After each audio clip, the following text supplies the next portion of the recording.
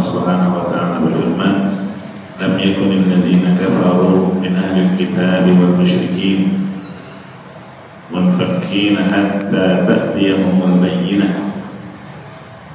Orang-orang kafir dari golongan ahli kitab dan musyrikin mereka tidak akan meninggalkan agama mereka sampai datang kepada mereka al-bayyinah bukti yang nyata. Ayat yang pertama ini Allah subhanahu wa ta'ala membedakan antara ahli kitab dengan musyrikin. Ahli kitab yaitu Yahudi dan Nasrani. Adapun kaum musyrikin itu selain mereka dari para penyembah berhala.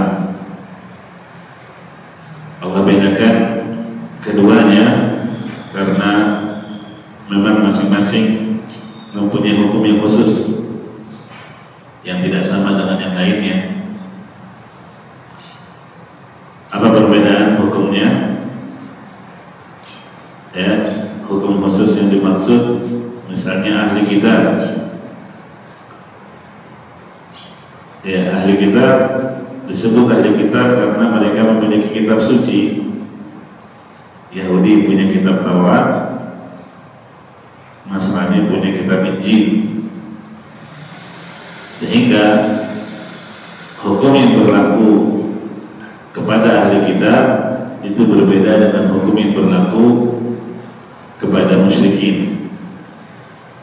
Di antaranya apa? Hasil sembelihan hasil sembelihan ahli kitab itu halal untuk kita makan. Beda dengan hasil sembelihannya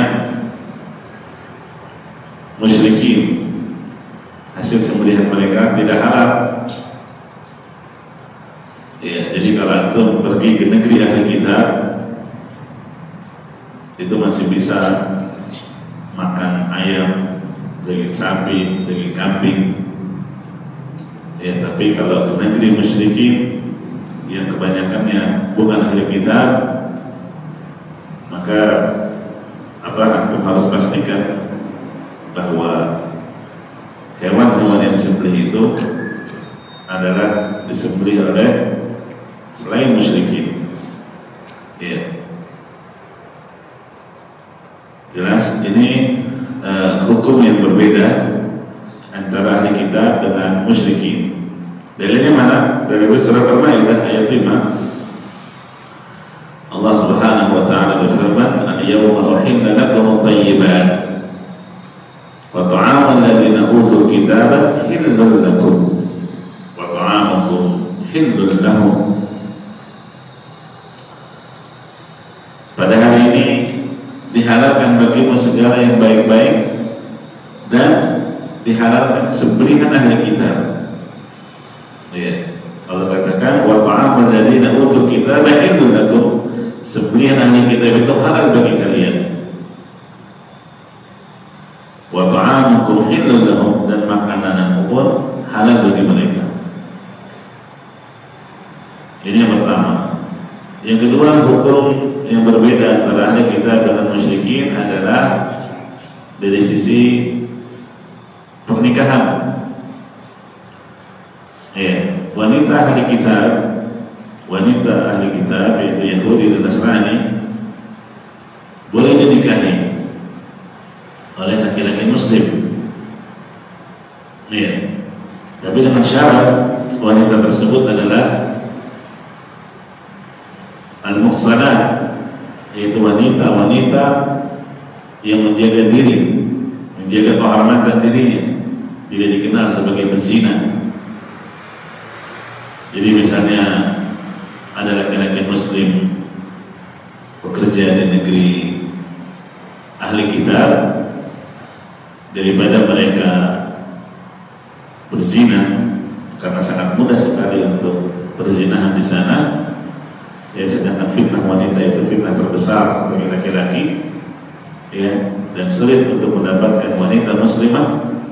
Maka tidak mengapa dia menikah dengan wanita ahli kitab dengan syarat wanitanya bukan wanita yang dikenal sebagai pezina tapi wanita yang betul-betul menjaga kehormatan dirinya. Eh dalilnya masih kelanjutan ayat tadi wal muhsanatu minal ladzina utul kitab min qablikum idza ataitumuhunna ujurahunna muhsinina ghaira musafihin wala muttakhidhi akhdan dan perempuan-perempuan yang menjaga kehormatan ya di antara ahli kita sebelum kamu itu halal apabila kamu membayar mas kawin mereka untuk menikahinya. Jadi tetap bayar mahal. Ya. Jangan mentang-mentang yang dinikahi wanita ahli kita terus nggak kasih mahal tetap bayar mahal ya ghaira musafihin tidak dalam maksud berzina. Wala mutakhidhi akhdan dan bukan juga untuk menjadikan perempuan piaraan. Tanpa status yang jelas. Ya. Ada pun wanita musyrik entah itu Hindu, Buddha, Konghucu, Sinto, apa lagi. Ya. Itu tidak halal untuk dinikahi wanita laki-laki muslim tidak halal. Allah berfirman, "Wala tankihul musyrikati hatta yu'minna." Jangan kamu menikahi wanita-wanita yang musyrik ya sebelum mereka beriman. Wala amatun mu'minatun khairun min musyrikati walau ajabatku. Hamba sahaya yang beriman itu lebih baik daripada perempuan musyrik meskipun perempuan yang musyrik itu sangat menarik hatimu ya ini di surah Al-Baqarah ayat 221 oleh karena itu Allah subhanahu wa ta'ala membedakan antara ahli kitab dan musyrikin ya. Karena kesyirikan ahli kitab dan kesyirikan kaum musyrikin pada zaman itu berbeda.